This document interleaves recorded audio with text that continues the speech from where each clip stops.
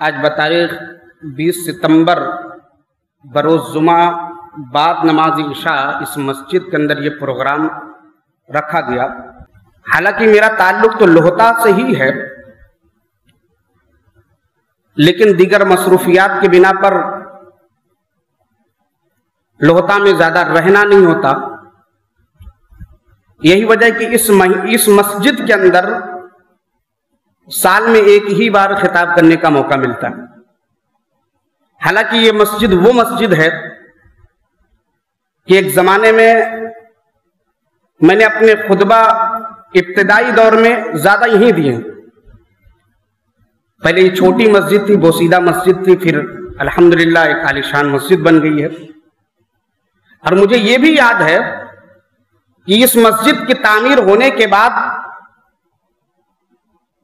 मिंबर पूरी तरीके से तैयार भी नहीं हुए थे तो मैंने खुतबा यहाँ पर कुर्सी रखकर मैं उस पर बैठा, फिर उसके बाद खुतबा दिया था।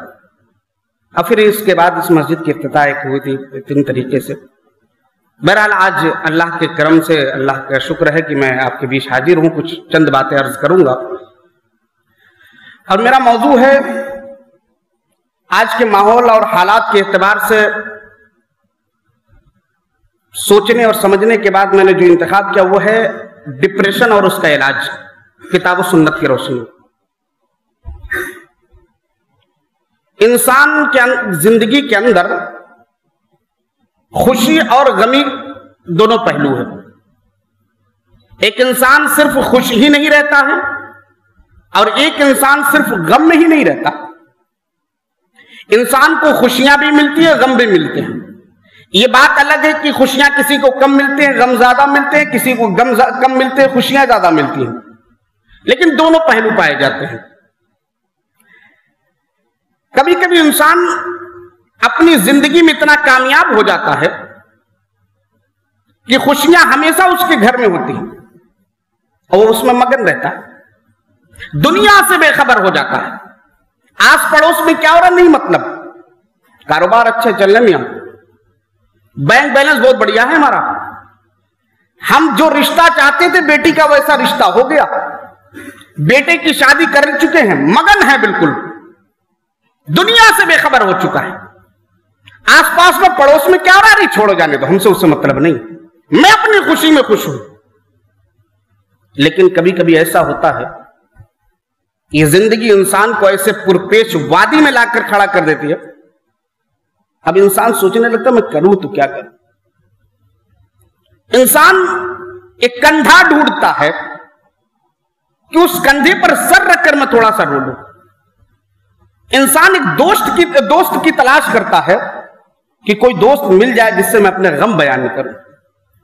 कोई राजदार ढूंढता है, कोई मिल जाए, मैं उसे अपना राज बता दूँ कि मैं, मेरे ऊपर क्या बीत रही है, मेरे अंदर मेरे अंदर कितने गमों के पहाड़ टूट रहे हैं, मैं किस मराहल से गुजर रहा हूँ, मैं लोगों को बताना चाह रहा हूँ, लेकिन लोग बता नहीं।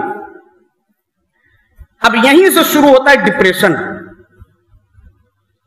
इंसान को गम लायक हो गई, कारोबार बंद हो गए, जवानी की उम्र में बेटे चले गए, बुढ़ापे का सहारा मेरा बेटा था, वो खत्म हो गया। बैंक बैलेंस थे खत्म हो गए। हमारे कारोबार चल रहे थे, साड़ी का धंधा अच्छा था, बंद हो गया। बेटी की शादी करना चाह रहे, कोई रिश्ते ही नहीं आ रहे। अब आदमी के अंदर सैडनेस आने लगती है। होपलेस होने लगता है नाउमीद होने लगता है। अब सोचिए, इंसान अब यहाँ से डिप्रेशन का शिकार होता है। डिप्रेशन के शिकार होते ही सबसे पहले वो तनहाई पसंद हो जाता है। अब तनहाई किसी से बोलना नहीं चाहता। उस अल्लाह से ना उम्मीद हुआ। इंसान किसी को गम बता नहीं रहा, अल्लाह से भी नहीं शिकवा कर रहा है। मायूसी की ज़िंदगी गुजारने लगा। उस अल्लाह से ना उम्मीद हो रहा है, जिसने उसे पैदा किया। पैदा करने के बाद वही अल्लाह उसे हंसा भी रहा है और रुला भी रहा है। अल्लाह ने पैदा किया। पैदा करने के बाद दुनिया के तमाम मामलात को अपने जिम्मे पर अल्लाह ने लिया रोजी देने का जिम्मा अल्लाह ने खुद लिया इंसानों पर नहीं छोड़ा कि जाओ, अब तुम कमाओ, तुम खाओ। नहीं, मेहनत तुम करो, लेकिन रोजी देने का काम मेरा है। अगर अल्लाह ना चाह अल्लाह अगर चाहे कि मुझे रोजी नहीं देनी है तो आप लाख मेहनत करते रहे कुछ नहीं होने वाला। अल्लाह ने पैदा किया। पैदा करने के बाद अल्लाह रब्बुल इज़्ज़त ने तमाम मसाइल देखे और उसके बाद क्या है? अल्लाह रब्बुल इज़्ज़त ने हमें हंसाया और रुलाया। सूर्य नज्म आयत नंबर तिरालीस में अल्लाह कहता वो हुआ अदहा का व अब का वो अल्लाह की जात है जो तुम्हें हंसाता है और रुलाता है। वो अल्लाह की जात है जो तुम्हें हंसा रहा है। आज तुम्हें खुशियाँ मिली, ठाका मार के तुम हंस रहे हो। आज तुम्हारे कारोबार बहुत अच्छे हैं। लोगों से मिल रहे हो तो बड़े खुश, बड़े खुशी से मिल रहे हो। आज तुम्हारे घरों में खुशियों का अंबार है। अल्लाह ने तुम्हें बेटे की नियमत से नवाज़ दिया। तुम्हारी बेटियों की शादी हो गई। बेटे का रिश्ता लग गया। बेटे अच्छे पोस्ट पर हो गए। ओहदे पर अच्छे फायज हो गए हैं। अब आप फूले नहीं समा रहे। हंस रहे हैं। ये हंसना भी अल्लाह की तरफ़ से है। अल्लाह रब्बुल इज़्ज़त ने तुम्हें हंसाने की भी ज़िम्मेदारी दी है। अब क्या है? जवानी में बेटे का इंतकाल हो गया। बुढ़ापे का सहारा है। बेटा फौत हो गया है। बेटियों के रिश्ते नहीं आ रही हैं। माँ का इंतकाल हो गया। बाप का इंतकाल हो गया। बैंक बैलेंस खत्म हो गया। साड़ियों का धंधा खत्म हो गया। कारोबार बंद हो गए। रास्ता कोई नहीं दिख रहा है। रिस्क आने का रास्ता कोई नहीं दिखा रहा है। अब रोने पर इंसान आ गया है तो ये अल्लाह की तरफ़ से। वो अन्न हुआ अधा का वो अब का अल्लाह ही की वो जात है जो हंसाता है और रुलाता है। अच्छा ये डिप्रेशन की परिभाषा क्या है? डिप्रेशन है क्या चीज़? जरा उसको समझ ले तो मौजू को समझने में आसानी होगी। डिप्रेशन कहते हैं, ये एक नफ्सियाती बीमारी है। जब इंसान डिप्रेशन का शिकार होता है तो बेहद नाउम्मीद हो जाता है। हमेशा गमगीन रहता है। काम में मन नहीं लगता है। और इसी तरीके से तनहाई पसंद हो जाता है। हमेशा अकेले बैठा रहता है। मन के अंदर एक जंग लड़ रहा है दिल के अंदर एक उमंगी उठ रही हैं। कुछ मौजे हैं जो लड़ रही है, जिससे वो अकेला लड़ रहा है। यहाँ तक कि उसके दिमाग में ये भी ख्याल आता है कि चलो खुदकुशी कर लेते डिप्रेशन है ये। इंसान के दिल में ख्याल आता है, चलो खुदकुशी कर लेते न रहेगी बास, न बजोगी बांसुड़ी न ज़िंदगी, न कुछ मराही। उसकी कुछ निशानियाँ ये भी बताई है, अतिब्बा ने। कि इंसान के सर में दर्द रहता है। जो डिप्रेशन का शिकार होता है ना, ज़्यादा सोचने लगता है, दर्द रहता है सर में। जिस्म के मुख्तलिफ़ हिस्से में भी दर्द होने लगता है। और यहाँ तक कि उसको न खाना अच्छा लगता है, न नींद आती है, न उसको कुछ पीना अच्छा लगता है, लोगों को बीच रहना भी अच्छा नहीं लगता। अगर ऐसा किसी को देख लीजिए तो समझिए वो डिप्रेशन का शिकार है। अंदर ही अंदर कोई जंग लड़ रहा है, उससे जरा सहारा दीजिए। आइए जरा जानते कि क्या इस्लाम के अंदर इसका कुछ इलाज है? अब आप कहेंगे कि डिप्रेशन तो अब हम सुन रहे हैं। है क्या डिप्रेशन ये तो अब है, इस्लाम में इसका थोड़ी ना इलाज होगा। इस्लाम के अंदर हर चीज़ का इलाज है। आइए मैं इलाज आपको बताऊँ। और उसको वो इलाज सुनते जाइए और अपने अंदर अगर आप जंग लड़ रहे हैं, अगर डिप्रेशन के शिकार हैं तो इस चीज़ को दूर कीजिए। सबसे पहली चीज़ उसका इलाज यह है कि आप तकदीर पर ईमान रखिए। किस चीज़ पर? तकदीर की भलाई और बुराई पर ईमान रखिए। अल्लाह ने इंसान की एक तकदीर लिखी है। ये एक आदमी नेक होगा कि बद होगा, एक किताब में लिख दी गई। ये इंसान कितना कमाएगा, कितना खाएगा, एक दाना उससे कम नहीं खा सकता, एक दाना उससे ज़्यादा नहीं खा सकता, मौत आएगी इस हाल में कि जो उसके किताब में तकदीर में लिखा हुआ, उतना खाने के बाद वो मर जाएगा। इंसान की तकदीर में लिख दिया गया है कि वो क्या क्या अमल करेगा। अगर वो जहन्नमियों वाला अमल करने वाला तो अल्लाह वो भी लिखवाया हुआ है। और इसी तरीके से अगर वो जहन्नमियों वाला अमल करते करते जन्नतियों का अमल करके मरने के बाद जन्नत में दाखिल होगा यह भी लिखा जा चुका है। और इसी तरीके से कोई आदमी ज़िंदगी भर नेकी वाला काम करता रहे और आखिरी मोमेंट पर, आखिरी वक्त में वो गुनाह का काम करके जहन्नम में चला जाएगा, ये भी लिखा हुआ है। अब इंसान डिप्रेशन में है। अब तकदीर भूल गया वो। तकदीर पर ईमान नहीं है उसको। तकदीर पर ईमान रखना ये ईमान का एक जुज है, एक हिस्सा है। इसके बगैर छुटकारा नहीं। अल्लाह रब्बुल इज़्ज़त कुरान मुकद्दस के अंदर इस तकदीर के ताल्लुक से कि इंसान की तकदीर में है क्या चीज़? आज बीमारियों ने घेर लिया, आप डिप्रेशन में चले गए। काम धंधे नहीं हो रहे, आप डिप्रेशन में हैं। दुनिया भर की परेशानी आ गई, मुसीबतें आ गई, बलाएँ आ गई, आप डिप्रेशन में हैं। हम बात नहीं करेंगे किसी से। आप दिल ही दिल के अंदर अपने आप को कोसते जा रहे हैं कि मेरे ऊपर ये बीमारियाँ आई हैं, मेरे ऊपर ये परेशानियाँ हैं, मेरे काम धंधे बंद हो गए, मेरी बेटियों की शादी नहीं हो रही है, मेरा बेटा बिगड़ गया, मेरा बेटा जुआरी हो गया, मेरा बेटा शराबी हो गया। या आप दिल ही दिल में आप सोचते जा रहे हैं, उस वक्त एक लम्हे के लिए आप याद कर लीजिए, ये फैसला अल्लाह ने किया है, ये रब की कुदरत है, रब ने फैसला कर दिया है। अय मुली गुफरान, आप इतने दिन खुश रहेंगे अय मुली गुफरान, इतने दिन तक आपको बलाए नहीं आएँगे अय मुली गुफरान आपको इतने दिन तक बीमारियाँ नहीं छूँगे लेकिन बोले, गुफरान, आपको जब बीमारियाँ लगेंगी तो एक महीने रहेंगी, दो महीने रहेंगे, तीन महीने रहेंगे। आपको बीवी की बीमारी, आपको, आपके बीवी को बीमारी हो सकती होगी, आपके बच्चों को होगी, आपके माँ बाप को होंगे। ये अल्लाह ने तकदीर में लिख दिया है। अब अगर आप इससे क्या है, ना, ये चीज़ होने के बाद ना उम्मीद हो जाए, गोया आपका तकदीर पे से ईमान टूट गया। आज बहुत सारे लोग कहते हैं बोले सब काम बंद हो गया फलानवा की वजह से। फलानवा ठेकेदार है हमारा। तो उसकी सरकार में बड़ा अच्छा चलता था। आज नहीं चल रहा है, उसकी सरकार आ जाती ये हो याद रखिएगा, एक हुकूमत के बाद दूसरी हुकूमत जालिम और जाबिर आएगी। ये मत सोचिए कि हालात उससे अच्छे अब क्या कहते हैं कि अच्छे हो जाएँगे बदतर ही होते जाएँगे। कयामत धीरे धीरे करीब आ जाएगी कुरान उठाइए। सूर्य हदीर आयत नंबर बाईस में अल्लाह कहता है, मा असाबा मिन मुसीबत फिल अर्दी वला फ़ी अनफुसिक। इंसानों के जानों पर और ज़मीन पर जो भी मुसीबतें आती हैं। गौर कीजिए, जितनी भी परेशानियाँ सब इस जुमरे में लाकर रख दो। इंसानों के जानों पर, यानी हम इंसान हैं, मेरे जान पर जो भी बनाई है, मेरे ऊपर बीमारियों ने डेरा डाल दिया है, मेरे घर में परेशानियाँ हैं, बलाएँ हैं, अल्लाह कहता है, इंसान के जानों पर और ज़मीन में जो भी मुसीबतें आती हैं, हमारे पैदा करने से पहले वो किताब में लिखी जा चुकी है। बात समझ में नहीं है यानी आज मैं सेहत और तंदुरुस्त हूँ। आज मैं सेहत और तंदुरुस्त हूँ, लेकिन अचानक क्या है? अल्लाह न करे, मेरे ऊपर फालिश की बीमारी आ जाए। अभी फालिश की बीमारी मेरे ऊपर नहीं है। गोया भी मेरे ऊपर पैदा नहीं किया गया लेकिन अल्लाह की किताब में लिखी हुई है। कल दिन मैं गाड़ी से जाने लगू, बाइक से मेरा एक्सीडेंट हो जाए। अभी एक्सीडेंट पैदा नहीं हुआ है, लेकिन कल दिन जब होगा, वो अल्लाह की किताब में लिखी हुई है। मैं आज सोचकर आया हूँ कि मैं तीन दिन घर पर रहूँगा। हो सकता है मैं कब पहले चला जाऊँ। ये पहले जाना अल्लाह की किताब में लिखा हुआ हम ये फैसला करके बैठे हुए चार नवंबर का प्रोग्राम है। उसमें हम ऐसी ऐसी तैयारी करेंगे। लेकिन उससे पहले कोई अड़चन हमारे घर में आ जाए कि हम प्रोग्राम में शरीक ना हो सके, ये अल्लाह की किताब में लिखी जा चुकी है। ये फ़ौरन कोई चीज़ नहीं अल्लाह की किताब में लिखी हुई है। अल्लाह ने क्या कहा? डिप्रेशन का इलाज है ये। सोच लीजिए, बीमारी आ गई है ना। ये अल्लाह ने अपनी किताब में हमारी तकदीर में लिख के रखा है। आज हमारे काम धंधे नहीं चल अल्लाह ने तकदीर में लिख के रखा है।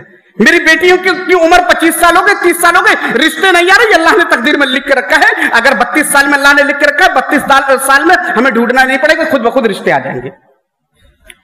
एक दूसरी आयत देखते हैं। सूर्य तगाबन आयत नंबर ग्यारह में अल्लाह रब्बुल इज़्ज़त कहता है मा असाब मुसीबत कोई भी मुसीबत नहीं आती है आप डिप्रेशन के शिकार हैं, मायूस हैं ना उम्मीद हो गए हैं। आप दिली दिल में कुछ करने के लिए सोच रहे हैं। अल्लाह रब्बुल इज़्ज़त ने जिनको बहुत नवाजा है, बड़े मालो दौलत है, बड़े रुतबा है, बहुत शोर शराबा है उनके नाम का, बड़े फ़ैन है उनके। आज वो भी डिप्रेशन के शिकार है। फिल्मी दुनिया पर राज करने वाले कितने एक्टर देखे खुदकुशी कर ली, क्यों? डॉक्टर ने बताया वो डिप्रेशन का शिकार था। अभी एक एक्टर के बाप ने छत से कूद कर जान दे दी। किस चीज़ की कमी थी उसके पास? आज आदमी सोच रहा मेरा काम नहीं चल रहा है इसलिए मैं मायूस हूँ। मेरे बैंक बैलेंस खत्म उसके पास किस बैंक बैलेंस की कमी थी? आज हम जिसके बहुत बड़े फ़ैन हैं ना क्रिकेट में, विराट कोहली अपने बारे में खुद कहता है कि एक दिन मैं डिप्रेशन का शिकार हो गया तो उनके पास किस चीज़ की कमी है? मैं खुदकुशी करने के बारे में सोच रहा था। किस चीज़ की कमी है उनके पास। तो मसला ये नहीं है कि कमी हो तभी डिप्रेशन होता है। दिल का सुकून और चैन माल के ऊपर नहीं है। अगर हम अपने अंदर सुकून पैदा करना चाहते हैं तो उसका भी रास्ता मैं आगे बताऊँगा इंशाला दूसरी दूसरी आयत सूर्य तगाबुन आयत नंबर ग्यारह। अल्लाह कहता है कि जो भी मुसीबतें आती हैं, वो अल्लाह की इजाज़त के बगैर नहीं आती हैं। अल्लाह की इजाज़त है कि अब चले जाओ दुनिया के अंदर। वो मुसीबत अब दुनिया के अंदर आ गई। अल्लाह की इजाज़त हो गई अब चले जाओ दुनिया के अंदर, मंदी का माहौल। वो आ गई है अब दुनिया के अंदर। अल्लाह की इजाज़त हो गई जाओ मौलाना गुफरान के अंदर, अब चले जाओ। अब ये चीज़ ये चीज़ ये चीज़, ये अल्लाह की इजाज़त है। ये अल्लाह की इजाज़त है मेरे भाई लेकिन अगर हम मायूस हो जाए, हम नाउमीद हो जाए तो याद रखेगा यही तकदीर पर हमारा ईमान कमज़ोर हो गया। यही तकदीर पर हम, तकदीर से अपना दामन छुड़ाना चाहते हैं। ये सब तकदीर का हिस्सा है। अब कोई ये कह सकता है, मोली साहब, आप लोग नमाज़ के बारे में बार बार कहते हैं, मेरी तकदीर में लिखा ही नहीं कि मैं नमाज़ पढ़ूँगा, आप क्यों बार बार कहते हैं? अभी नहीं पढ़ रहा हूँ, नहीं लिखा हुआ। अरे, अब बेवकूफ़ आपके तकदीर में लिखा हुआ होगा। आपके दिल पे मोहर लग गया है अब। जरा सोचिए, आप कुरान की बातें सुनते हैं खुद में जुमा के लिए आते हैं, हफ़्ते में एक दिन मस्जिद में जुमा के लिए आते हैं, बुलावा नहीं पड़ता है, खुद ही आते हैं मुली साहब को कहना नहीं पड़ता है, चलिए जुमा के लिए, खुद ही चले आते हैं तो इसका मतलब ईमान की रमक अभी बाकी है, ईमान की चमक अभी बाकी है, जरा घिसने की ज़रूरत है, जरा चोट लगाने की ज़रूरत है, आपको यह मालूम है, अल्लाह ने कहा है, इन्ना हदैना सबीला इम्मा शाकिर इम्मा कफूरा इंसान की रहनुमाई दो रास्तों की तरफ़, एक जलालत वाला रास्ता एक एक गुमराही वाला रास्ता और एक नेकियों वाला रास्ता। आप जलालत के रास्ते पर चल रहे हैं। जरा आप वापस आइए। यू टर्न लीजिए वहाँ से और नेकी के रास्ते पर आ जाइए। नहीं आ पाते। हमारा ईमान कमज़ोर है तकदीर पर। मैं कह सकता हूँ दावे के साथ।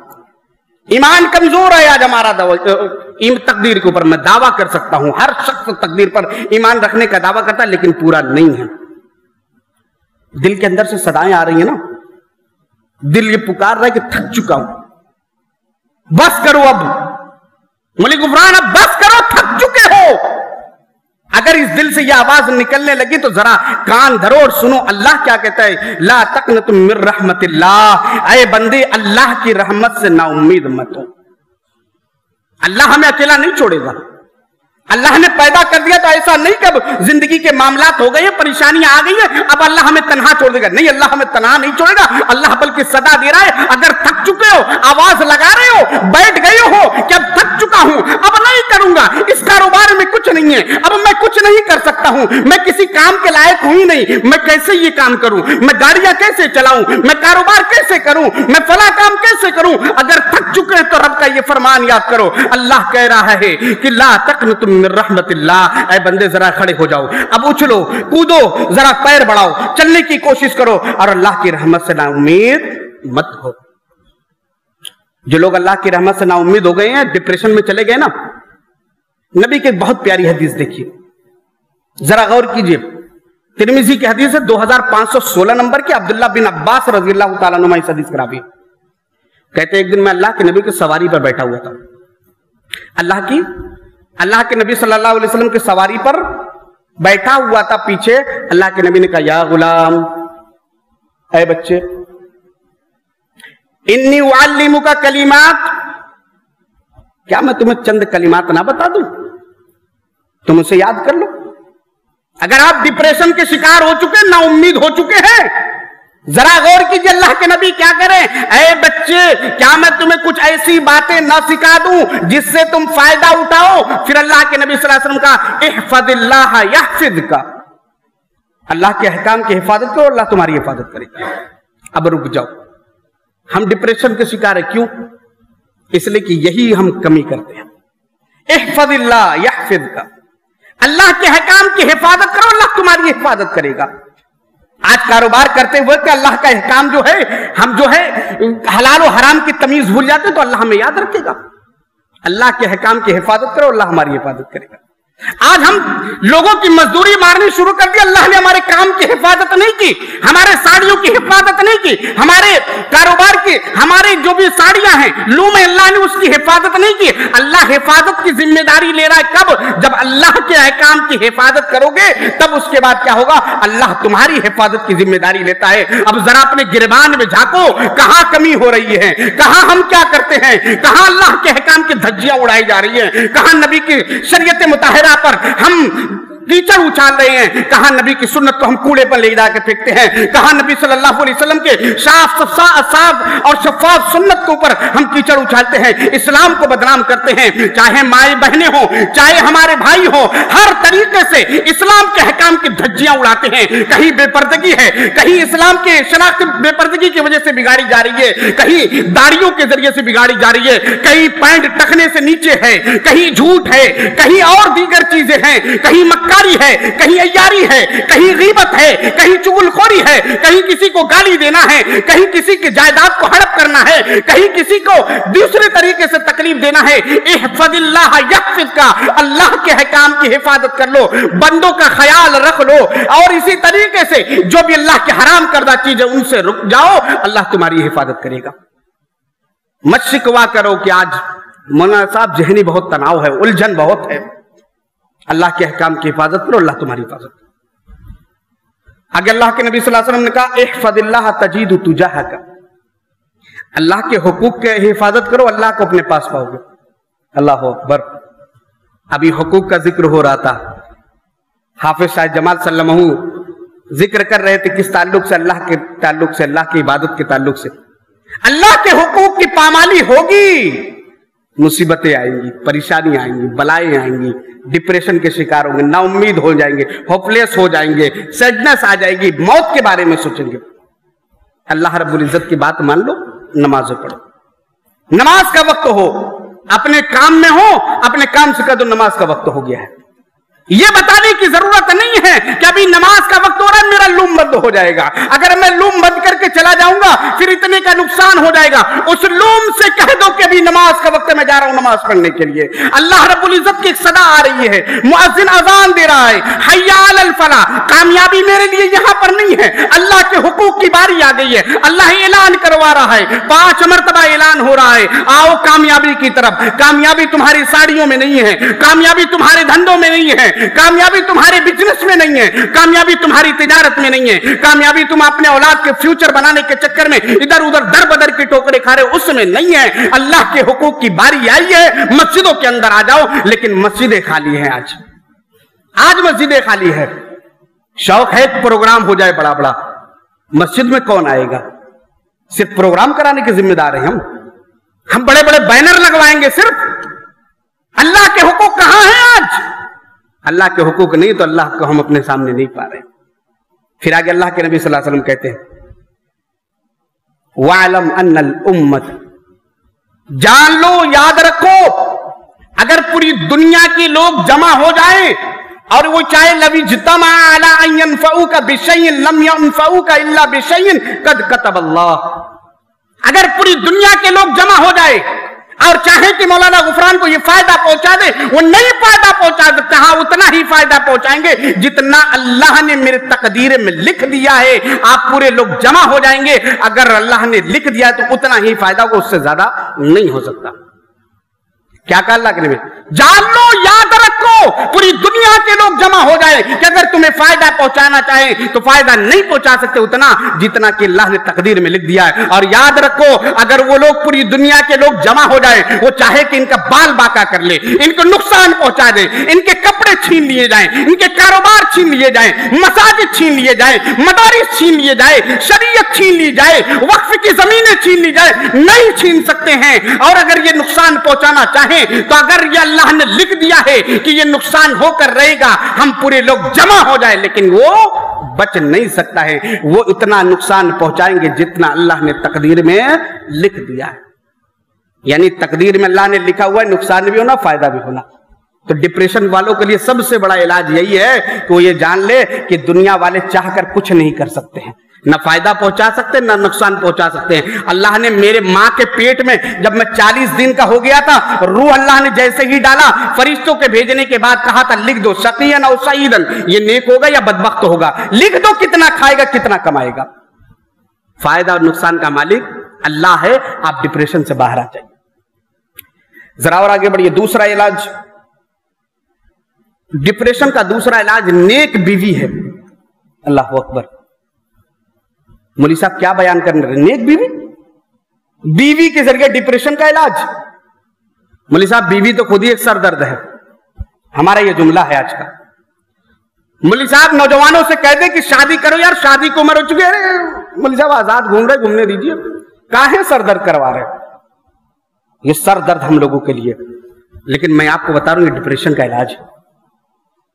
अल्लाह ने कहा तस्कुनु इलैया ये सुकून की ज़रिए सुकून का ज़रिया है ये औरतें।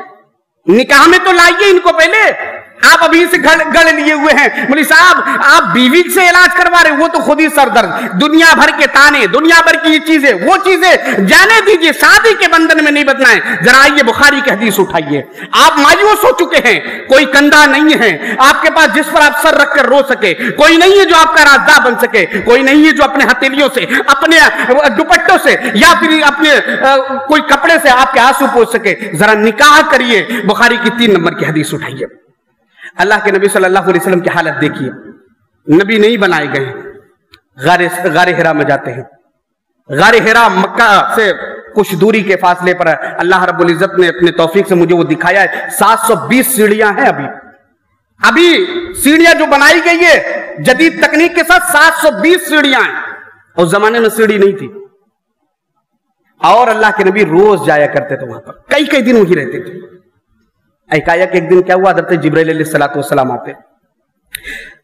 अल्लाह के नबी से कहा कि पढ़िए। सीने से ज़ोर से लगाकर दबाया, कहा, पढ़िए, अल्लाह के नबी ने कहा, मैं पढ़ना नहीं जानता। तीसरी मरतबा ज़ोर से लगाकर, सीने से लगाकर दबाया और फिर कहा कि पढ़िए। एक बिस्म रबिकल्लदी खलक, पाँच आयतें शुरू की नाजिल होती हैं। नबी सल्लल्लाहु अलैहि वसल्लम उसके बाद नबूवत का सर पर ताज रख दिया गया अब आज से आप नबी हो गए। नबी अब गारे हेरा से उतर रहे। अब ये देखिए, पॉइंट गौर कीजिए। नबी गारे हेरा से उतर रहे हैं। अब कहा जा रहे हैं? डायरेक्ट अपने बीवी के पास जा रहे हैं। बीवी कौन है? बड़ी ही वफादार बीवी, बड़ी नेक बीवी है। हज़रत खदीजा रज़ी अल्लाह तला उनके घर में दाखिल होते नबी ने कहा, जम मिलू नहीं जम मिलू नहीं मुझे चादर उड़ा दो। फजम मिलू हूँ हज़रत खदीजा कहती, मैंने चादर उड़ा दी। यहाँ एक पॉइंट नोट कीजिए मेरी माओ बहन। अगर शौहर घर में कहीं से थक हार कर आए, परेशानी है अगर वो कह रहा मुझे थोड़ा सा सुकून में रहने दीजिए, छोड़ दो उसको। मई खदीजा ने कुछ नहीं कहा ना क्या हो गया नबी अरे, मोहम्मद क्या हो गया आपको? आपने क्या मामला हो गया? अल्लाह के नबी ने कहा जमीलूनी मुझे चादर उड़ाओ आपने चादर उड़ा दी। आए शोहर, वो कहे कि, मुझे छोड़ दो अभी तनहा छोड़ दो। पहले कुछ देर आराम कर लेने दो। पहले उसको फ्रेश हो लेने दो, मुँह हाथ धुल लेने दो, उसको चाय बनाकर ला के दे दो, सारी चीज़ें कर दो। उसके बाद, फिर उसके बाद उससे कुछ सवाल कीजिए। फजम मिलू चादर उड़ा दी। यहाँ तक कि उनके ऊपर से खौफ खत्म हो गया। हज़रत खदीजा कहती है अखबर खबरा। अब मैंने पूछा तो उन्होंने बाखबर किया। यानी अभी शौहर आए हैं। कहा, चादर उड़ाओ, चादर उड़ा दिए हैं। अब उसके बाद इतमान हो गया। खौफ जाता रहा। बिल्कुल मायूस, अब कपकपी खत्म हो चुकी है। अब बिल्कुल सुकून का माहौल है। आपके घर में शौहर आए, कुछ देर छोड़ दीजिए। तनहाई पसंद होना चाहता, होने दीजिए। चाय बनाकर पिला दीजिए। फिर उसके बाद एक घंटे के बाद पूछिए अपने सरकार से, क्या मामला हो गया है? आप परेशान क्यों हैं? जरा माई खदीजा की इस बात को नोट कर लीजिए मेरी माओ बहनों। आप अपने शौहर को जब गमगीन पाइए तो ये ज़रूर कहिएगा। मेरे जब अल्लाह के नबी सल्लल्लाहु अलैहि वसल्लम ने जब खबर दी, हज़रत खदीजा रदी अल्लाह तआला कहते हैं कि अल्लाह के नबी ने कहा, लकद खशी तो आला नफसी। मैं अपने आप, में, मुझे ऐसा गुमान हो रहा है कि मैं हलाक कर दिए जाऊँगा। मुझे अपने जान पर खतरा महसूस हो रहा है। हज़रत खदीजा कहती कल्ला वल्लाही मा यहजुन कल्लाहु अबदा। किस नहीं, ऐसा नहीं हो सकता है। अल्लाह की कसम, ऐसा हो ही नहीं सकता। अल्लाह आपको हलाक बर्बाद नहीं कर सकता है। आप अपनी जान पर यह समझ रहे हैं कि मेरी जान निकल जाएगी। आप पर कपकपी तारी थी। अब थोड़ा सा सुकून हो गया, खौफ खत्म हो गया है। आप ये कहना चाहते हैं कि मेरी जान का खतरा है तो अल्लाह की कसम ऐसा नहीं हो सकता है। अब जरा सुनिए, हज़रत खदीजा क्या कहती हैं? वो कहती हैं इन नकल रहीम। क्योंकि आपके अंदर एक खूबी, आप रिश्तेदारियाँ जोड़ते हैं। मोहम्मद सल्लल्लाहु अलैहि वसल्लम मेरे सरताज, जरा सुनिए आप।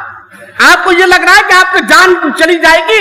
ऐसा नहीं हो सकता। अल्लाह आपको जलील खार नहीं कर सकता। अल्लाह आपकी जान नहीं ले सकता, क्योंकि आप रिश्तेदारियाँ जोड़ते हैं। आज आप अच्छे अखलाक के मालिक हैं। आप अपने से तो अपने गैरों से भी बेहतरीन तरीके से मिलते हैं। आप जब घर से बाहर निकलते हैं, अपनों से मुलाकात होती है तो भी उनसे हंसकर बोलते हैं। गैरों से मुलाकात होती है तो भी हंसकर बोलते हैं। आप रिश्तेदारियाँ जोड़ते हैं, दोस्ती बढ़ाते हैं। आप लोगों से नर्म अंदाज में मिलते हैं। अखलाक करीमाना में आप मुजस्सब हैं। आपके साथ ऐसा नहीं हो सकता। होगा फिर आगे कहते हैं वह मिलकल्ला आप बोझ उठाते हैं। आप किसी मजबूर को की मजबूरी नहीं दे सकते हैं। मेरी माँ बहनों, गौर करो, आपके शोहर के अंदर जो खूबी हो, आप उन्हें बयान करिएगा। ये बयान कर रही हैं आप अच्छे अखलाक के मालिक हैं। आप भी अपने शोहर से कहिए, अरे मेरे प्यारे शोहर, आप तो इतने अच्छे हैं। बाल बच्चों का ख्याल रखते हैं। आप हराम तरीके से नहीं कमाते हैं। हलाल तरीके से कमाते हैं। आप इतनी मेहनत करते हैं। आप क्यों इतने नाउमीद होते हैं? अल्लाह के नबी वसल्लम की प्यारी बीवी कह रही हैं, आप बोझ उठाते हैं। किन का बोझ जो बेकस है, बेसहारा है। बूढ़े लोग हैं, जिनके बच्चे नहीं हैं, उनके पास खाने पीने का इंतज़ाम नहीं है। वह तकसबुल मादूम, आप उनके लिए कमाई भी करते हैं। बेवा को ये उनके लिए कमाई करते हैं। यानी नबी तिजारत किया करते थे। खाली सिर्फ़ अपने लिए नहीं करते थे, बल्कि नबी तिजारत करते थे, ताकि बेवाओं की मदद हो सके, ताकि बेकसों की मदद हो सके, ताकि गरीबों की मदद हो सके मिसकोलों की मदद हो सके। मक्का की गलियों में टहला करते थे, जरा पता किया करते थे। नबी नहीं बनाए गए हैं, फिर भी यह खला के करीमाना आपके अंदर मौजूद है। मक्का की गलियों में टहल टहल कर आप पता करते, अगर पता लग जाए कोई कहीं जाना चाहता है, बोझ नहीं उठा पा रहा है। नबी रहमत सल्लल्लाहु अलैहि वसल्लम अपने कंधे पर, अपने सर पर उस बोझ को उठाते थे। एक मकाम से दूसरे मकाम तक पहुँचाया करते थे। मक्का के हदूद से बाद दफ़ा बाहर भी पहुँचाया करते थे। किसी के घर में खाने का इंतज़ाम नहीं है। वह तकसबुल मादूम, आप उनके लिए कमाई करके दाने का इंतज़ाम किया करते थे। ये था एक वफा एक, ये थी एक नेक बीवी। लेकिन आज हमारी बीवियाँ, हम परेशान हो जाए, अपने घर के अंदर आए तो हमारी बीवियाँ हज़ार सवाल हमारे ऊपर खड़े कर दे। हम कहते कि सर दर्द हो रहा है, थोड़ा सा सर दबा दो। आपका रोज रोज सर दबाऊ मैं? आपकी नौकर हूँ। आप कह दीजिए कि जरा सा लग रहा मुझे बुखार आ गया, और जाइए। मौसम की तब्दीली हो रही है, बारिश हो रही है, ना आइए, ये मेरी माँ बहनों, मत कहिए सर। अगर कुछ परेशानी है, जरा परेशानी सुनिए उनकी। कहीं ऐसा ना हो कि आप बार बार उनको ये टोकती रहें बार बार कहती रहें, और उसके बाद वो शोहर आपसे कहना बंद कर दे। अंदर ही अंदर एक जंग लड़ने लगे। मेरा सुनने वाला तो कोई है नहीं। बीवी को कह नहीं सकता कि मेरे पैर में दर्द है, सर में दर्द है, बुखार है, कुछ और मामला है। बीवी को कह नहीं सकता। अंदर ही अंदर घुटता जाएगा, वो डिप्रेशन का शिकार हो जाएगा। तारीख के हवाले से वाक्य और सुनिए। सन छह हिजरी सुलह हुदैबिया का मौका है। उम्म सलमा रज़ी अल्लाह तहा नबी के साथ है। सुलह हुदैबिया के मौके पर चौदह सौ मुसलमान नबी के साथ उमरा करने जा रहे थे। इससे पहले मुसलमान उमरा करने नहीं गए। नबी ने देखा कि कुछ अच्छा मामला लग रहा है, चलो चला जाए। तलवारें मियान के अंदर रखनी चली। यहाँ तक कि एक मकाम पर आने के बाद जो जबीहा था, उनको भी कलादा पहना दिया गया। उनके ऊपर भी निशानदेही कर दी गई कि ये जबिया एक दूसरा मसला है, वो उसमें मैं नहीं जाना चाहता, लेकिन फिर पहुँचते हैं। सुलह हुदैबिया के मुकाम पर आपको रोक दिया गया। नबी, आप उमरा नहीं कर सकते। चौदह सौ सहाबा कराम का मजमा है। अब सुलह लिखा गया। इसलिए उसको सुलह हुदैबिया कहा जाए। हुदैबिया के मकाम पर सुलह नामा लिखा गया। बहुत सारी सुलह हुई, सब कुछ होने के बाद इधर मुसलमान सोच रहे हैं कि अल्लाह के नबी हर बात मानते चले जा रहे वो ने जो कहा उसमें घर से मेरा नुकसान क्यों? अल्लाह के नबी मान रहे हैं। पता, ये लगता है कि अगर कभी गैरों की तरफ़ से कुछ मामला उठे तो ज़रूरी नहीं कि हर मामले का हम जवाब ही दें। कहीं जरा सा झुक जाइए, हो सकता है वहाँ पर बेहतरी हो जाए। नबी वसल्लम झुक गए तो अगले साल क्या वो मक्का फतेह हो गया। इतना होने के बाद नबी अब सहाबा से कह रहे कि साल हम उमरा नहीं कर पाएँगे। जरा अपने जानवरों को उठाओ जब उमरा के लिए अगर आप जाए, हज के लिए जाए, रास्ते में रोक दिए जाएँगे तो आपको वहीं पर अपना जबीहा जबा करना है। अल्लाह के नबी ने कहा, अपने जानवरों को उठाओ जबा करो और बाल को छिला लो। नहीं सुन रहे मुसलमान। बार बार अल्लाह के नबी ने कहा कि उठाओ जानवरों को और जबा करो, अपने बाल को छिलवा लो, लेकिन कोई नहीं सुन रहा। नबी मायूस ना उम्मीद हो गई कि मुसलमान मेरी बात नहीं मान रहे। इसी गमगीन हालत में नबी वसल्लम हज़रत उम्म सलमा के खेमे में पहुँचते हैं। उम्म सलमा देखती है कि नबी कुछ मायूस है। क्या मामला हो गया अल्लाह के नबी ने कहा मैं साहबी को साहबा कराम की जमात से कह रहा हूँ जो मेरे इतने वफा शार थे कि मेरे एक इशारे पर जान देते थे, थे आज मैं कह रहा हूँ कि अपने जानवरों को जबा कर लो अपने बाल को छिला लो मेरी बात ही नहीं मान लो। हज़रत उम्म सलमा ने मशवरा दिया देखिए मायूसी का इलाज बीवी कैसे बताइए जरा बीवियों को अपने। हम अपनी बीवी को मसले नहीं बताते हैं। हर जगह बीवी की गलती नहीं होती है। कहीं कहीं बीवियाँ पूछती हम नहीं बताते हैं। तुम्हें क्या पता है? कितना हम सर पर बोझ लेकर टहलते हैं। कितने हम परेशान होते हैं। क्या क्या करते हैं? ये खरी खूटी हम बीवियों को सुना देते हैं। नहीं मेरे भाई, बताइए उनको। हज़रत उम्म सलमा कहते हैं, ऐसा अल्लाह के नबी सल्लल्लाहु अलैहि वसल्लम, आप जरा बाहर निकलिए। और खुद आप अपने जानवर को पकड़िए, अपने हाथ से जबा कीजिए, और पहले आप अपने सर का बाल उतरवाइए। अल्लाह के नबी सल्लल्लाहु अलैहि वसल्लम ने यह तजवीज सुनी, फ़ौरन निकले और बाहर आए।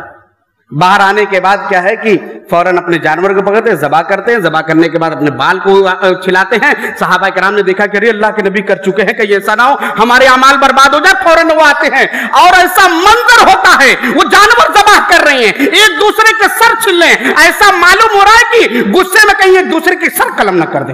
इतने गुस्से में थे मुसलमान। क्या पता लगा, नेक बीवी हो, वफादार बीवी हो तो मायूसी से और नाउमीदी से, सैडनेस से, होपलेस से निकला जा सकता है। निकला जा सकता है मेरे भाई। अब जो कुंवारे होंगे, वो सोच रहे होंगे कि तो बीवी से इलाज इनका हो गया। हमारा इलाज कैसे होगा? हम भी तो ना उम्मीद है मायूस है। आइए उनको भी बता रहा हूँ। आपका भी इलाज हमारे पास डिप्रेशन और जहनी तनाव को खत्म करने के लिए ज़रूरी है कि सबसे पहले आप पॉजिटिव सोचे। अगर आप ना उम्मीद हो गए ना, ये काम मुझसे नहीं हो पाएगा। अब मैं आपके गली मोहल्ले के हिसाब से एक मिसाल दे दूँ। एक लड़का है, क्रिकेट खेल रहा दो तीन तीन दिन, चार दिन क्रिकेट खेला। खेलने के बाद चार दिन लगातार वो ज़ीरो पर आउट हो गया। चौथे दिन उसके साथी लोग बुलाए, चलो आओ, पाँचवें दिन क्या आओ, चलो क्रिकेट खेल नहीं यार, मैं नहीं खेलूँगा. रोज ज़ीरो पे आउट हो जाता कौन जाएगा खेलने, खाली फील्डिंग करवाते हैं, नहीं जाऊँगा अब उस, वो पॉजिटिव सोचे। चार दिन हो गया ना पाँचवें दिन मैं कुछ बड़ा करके दिखाऊँगा। एक और मिसाल लीजिए अब हमारे यहाँ एक प्रोग्राम का अल्हम्दुलिल्लाह एक प्लान बन गया पूरा। इतने रुपए खर्च आएँगे, ये होगा, वो होगा, लेकिन हम सोचे, यार, होगा कैसे? इतना बड़ा प्रोग्राम कैसे कराएँगे? नहीं। आप ये सोचिए कि हम कराएँगे। आप पॉजिटिव सोचिए नेगेटिव नहीं। आप अपनी सोच को यहाँ पर लाकर रखिए, यहाँ पर मत रखिए कि यार कैसे होगा? ये सोचिए कि होकर रहेगा। हम करवाएँगे, हम लोगों को जुड़ाएँगे, हम लोगों से मिलेंगे, लोगों से बात करेंगे। जब आप पॉजिटिव सोचेंगे तो अल्लाह आपकी मदद करेंगे। एक हदीस उठाइए। बुखारी की हदीस सात हज़ार चार सौ पाँच नंबर की है। अबू हुरैरा रज़ी अल्लाह हदीस करावी। अल्लाह के नबी ने कहा, आना इन दन्नी अब भी। मैं बंदों के गुमान के मुताबिक बंदों के साथ हूँ। मसले का हल मिल गया। आप डिप्रेशन के शिकार हो गए, ना उम्मीद हो गए, मैं कुछ नहीं कर पाऊँगा, मेरे बदन में ताकत नहीं है, अब मैं नहीं, काम नहीं कर पाऊँगा, मैं बाज़ार नहीं जा सकता हूँ। पहले मैं रोज बाज़ार जाया करता था, सब्ज़ियाँ लाया करता था, मस्जिद में जाया करता था, नहीं जा पाऊँगा अब। ये मत सोचिए, आप ये सोचिए कि मैं जाऊँगा। अगर आप ये सोचेंगे, अल्लाह कहता है, मैं बंदों के गुमान के मुताबिक उनके साथ होता हूँ। अगर बंदा ये सोच लेता है, मैं कर सकता हूँ तो मैं उसे वो काम करवाता हूँ। अगर बंदा ये सोच लेता मैं नहीं करूँगा तो फिर वो नाकाम हो जाता है। एक आयत और देखिए, एक आयत देखिए, सूर्य नजम आयत नंबर उनतालीस, अल्लाह कहता हूँ इंसान इंसान के लिए वही है वो जो उसकी कोशिश, जो, जिसकी वो कोशिश करता है। इंसान ये कोशिश करे कि मैं एक दिन बड़ा आदमी बनूँगा। बिल्कुल बड़ा आदमी बन सकता। एक दिन आदमी ये सोचे कि मैं बड़ा आलिम बनूँगा, एक बेहतरीन मुकर्र बनूँगा, बन सकता है। अभी शुरू में आपके सामने एक छोटा सा बच्चा तकरीर कर रहा था। अगर वो सोच ले इतने बड़े मजमे में मैं कैसे तकरीर करूँ? मैं कैसे बोलूँगा? गलतियाँ हो जाएँगी। तो मेरे भाइयों, उसके हिम्मत को दाद देनी चाहिए, उसके जज्बे को सलाम है कि इतने लोगों के बीच में वो उसने बोला और अच्छे तरीके से बोला। अल्लाह ताला उसके इल्म में बरकत दे। अल्लाह रब्बुल इज़्ज़त उसके आगे के बराहिल जो है कठिनों, उन्हें आसान फरमाए और एक बेहतरीन खतीब बनाए। और मैं ये कहना चाहूँगा, गिरते हैं शहसवार ही मैदानी जंग में। वो तिफल क्या गिरे जो घुटने के बल चले? आप अपने सोच को पहले पॉजिटिव कीजिए। आप अपने ये सोचिए कि अगर मेरा बच्चा बिगड़ गया तो ऐसा नहीं कि मैं सुधार नहीं सकता हूँ। आप सुधार सकते हो उसको आप उससे नर्मंदाज में बात कीजिए। आप जरा कुछ दिन उसे छोड़ दीजिए। ताना तरेजी मत कीजिए। जरा उसे जाने दीजिए। जब उसे धक्का कहीं लगेगा, कोई सहारा देने वाला नहीं होगा। उस वक्त याद आएगा, काश मैं अपने बाप की बात को माना होता। जब वो घर के अंदर आया तो उसे खाना दीजिए। अच्छे तरीके से उसके साथ व्यवहार कीजिए। और कभी अगर वो मायूस बैठा तो जरा पूछिए कि क्या मामला हो गया है। उसके साथ आप अच्छे मामला कीजिए। और कभी ये मत सोचिए कि मैं अपने इस बेटे को सुधार नहीं सकता हूँ। कभी ये मत सोचिए कि आज ये हमारे काम धंधा अब खत्म हो गया, अब बढ़ नहीं सकता है। बहुत सारे लोगों के नौजवान बहुत सारे लोगों की जबान पर मैंने ये बात सुनी, अब साड़ी का धंधा खत्म। अब यहाँ से साड़ी का धंधा नहीं उठ सकता। क्यों नहीं उठ सकता? अल्लाह रबुल इज़्ज़त से ज़्यादा आप जानते हैं। अल्लाह रबुल इज़्ज़त इस चीज़ का मालिक है कि आप मालिक हैं। इसलिए पॉजिटिव सोचिए। और इसी तरीके से, नंबर चार, डिप्रेशन का एक इलाज है, दुआ कीजिए। अल्लाह से दुआ कीजिए। बीमारियों ने घेर लिया है। हज़रत अयूब सलाम को याद कीजिए, हज़रत अयूब ने क्या कहा था? अन्नी मसनी जुर्र अंतारहमुर्राहिमीन अल्लाह, मुझे तकलीफ़ पहुँची है। मेरे जिस्म में बीमारियाँ लग गई है। वो ना उम्मीद नहीं हुए। वो मायूस होकर बैठ नहीं गए अलग तलग नहीं हो गए। खुदकुशी के बारे में नहीं सोच रहे, बल्कि ये सोच रहे, अन्नी मसनी जुर्रवान अल्लाह, तू ही दाता है। अल्लाह, तू ही गौ से तू ही गौस है। अल्लाह, तू ही शिफा देने वाला, तू ही बीमारी देने वाला है। अल्लाह, मुझे बीमारी पहुँची है, मुझे तकलीफ़ पहुँची है। अल्लाह, तू इसे अपनी रहमत से खत्म कर दे। अन्नी मसनी जुर्रवान का तू रहम करने वाला है। अल्लाह मेरे ऊपर रहम करवा दुआ कीजिए जरा। आप ऐसे मजदार में फंसे हुए हैं। अब आपको दिख नहीं रहा, साड़ियाँ नहीं बिक रही, क्या करूँ? बेटी की शादी सर पर है। क्या करूँ? ये काम सर पर आया हुआ है। हज़रत यूनुस सलाम को याद कीजिए, मछली के पेट में है, पेट की तारीकी है समंदर की तारीकी है रात की तारीकी है अल्लाह से क्रिया उजारी कर रहे हैं। ला इलाहा इल्ला अंत सुबहानक, इन्नी कुंतु मिनज़ालिमीन अल्लाह से क्रिया उजारी कर रहे हैं। अल्लाह से दुआ कर रहे हैं मेरे भाइयों। आप सेट आप अगर मायूस हो गए ना उम्मीद हो गई जरा अल्लाह के पास हाथ उठाइए। अल्लाह के दरबार में हाथ उठाइए। और इसी तरीके से मेरे नबी को देखिए। ताइफ के मैदान में है ताइफ की वादी में है। वो बाशो बसबाजों को आपके पीछे लगा दिया गया। बच्चों ने पत्थरों से मारा, आपके पैरों से खून निकलने लगे, जूते में जम गए, बेहोश होकर गिर गए। आपको एक बाग में लेकर जाया गया।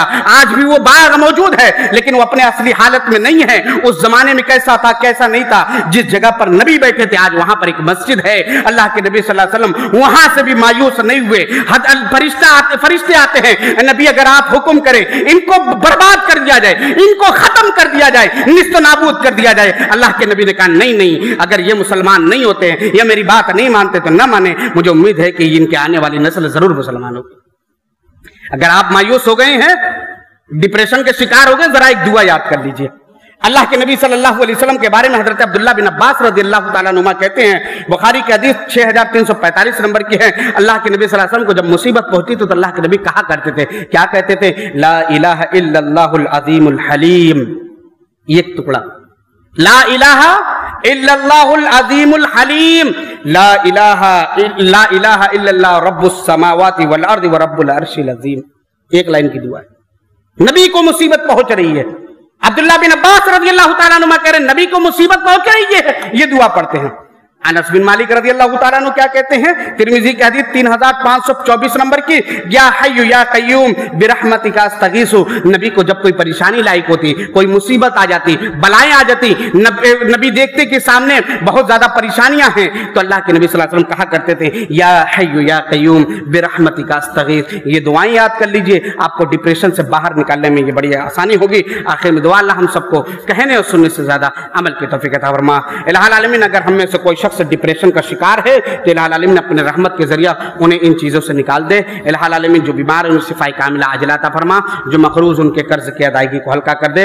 इलामीन पूरी दुनिया के अंदर जहाँ भी मुसलमान परेशान आ लो उनकी परेशानियों को दूर कर दे। हमें जब तक ज़िंदा रख, ईमान वाला बनाकर ज़िंदा रख। हमारा खात्मा हो, कल में ला पर हो। आमीन। व आखिर दावान अलहमदिल्ला